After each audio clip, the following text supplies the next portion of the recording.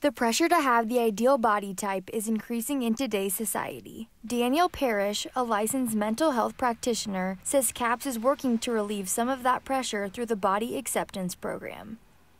So this organization started based on pure interest, so some students on campus who sort of saw the need for somebody or some group to address eating disorder concerns or body image concerns. So the group at that point was called HOPE. Um, it has since evolved, and then CAPS has come on as an additional support as part of that process.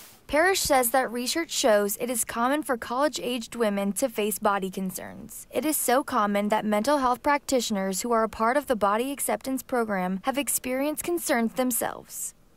Um, with a personal story, growing up, body image concerns is something that I um, experienced myself. Parrish and Manstead have worked with students to address the wide scopes of concerns with a two session program. We break down sort of what social media portrays, and then we try to provide some healthy tools for reshaping and reframing that narrative. Body image is not just a struggle for women, but they are the only gender serviced through the current body acceptance program. So it is specifically geared toward women, and the reason for that is because it's an evidence-based program. Um, the research that was done was conducted all with women. And they're actually doing some research to hopefully adapt a program for men. If a student is interested in joining the program, Parrish says it takes only a few simple steps.